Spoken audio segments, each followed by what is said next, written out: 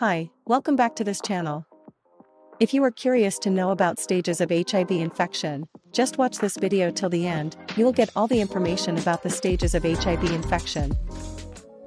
There are three stages of HIV infection.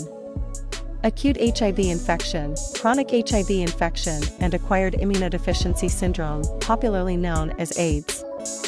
Let's learn about HIV infection and how it progresses in the human body. Without treatment, HIV infection advances in stages, getting worse over time. HIV gradually destroys the immune system and eventually causes acquired immunodeficiency syndrome, AIDS. There is no cure for HIV, but treatment with HIV medicines, called antiretroviral therapy or ART, can slow or prevent HIV from advancing from one stage to the next. One of the main goals of antiretroviral therapy, or ART, is to reduce a person's viral load to an undetectable level. An undetectable viral load means that the level of HIV in the blood is too low to be detected by a viral load test. People with HIV who maintain an undetectable viral load have effectively no risk of transmitting HIV to their HIV-negative partner through sex.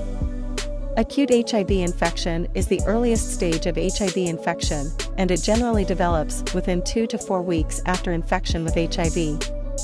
During this time, some people have flu-like symptoms, such as fever, headache, and rash. In the acute stage of infection, HIV multiplies rapidly and spreads throughout the body. The virus attacks and destroys the infection-fighting CD4 cells of the immune system. Chronic HIV infection the second stage of HIV infection is chronic HIV infection, also called asymptomatic HIV infection. During this stage, HIV continues to multiply in the body but at very low levels. People with chronic HIV infection may not have any HIV-related symptoms. Without antiretroviral therapy, chronic HIV infection usually advances to AIDS in 10 years or longer, though in some people it may advance faster. People who are taking antiretroviral therapy may be in this stage for several decades.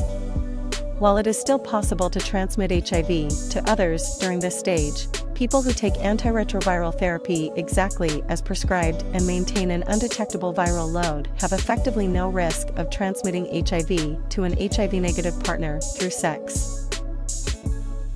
AIDS is the final, most severe stage of HIV infection. Because HIV has severely damaged the immune system, the body cannot fight off opportunistic infections. Opportunistic infections are infections and infection-related cancers that occur more frequently or are more severe in people with weakened immune systems than in people with healthy immune systems. People with HIV are diagnosed with AIDS if they have a CD4 count of less than 200 cells per mm3 or if they have certain opportunistic infections. Once a person is diagnosed with AIDS, they can have a high viral load and are able to transmit HIV to others very easily. Without treatment, people with AIDS typically survive about three years. If you want to know more about general health, sexual health, HIV, AIDS, and related diseases, make sure to subscribe to this channel and press the bell icon to get all the upcoming video notifications.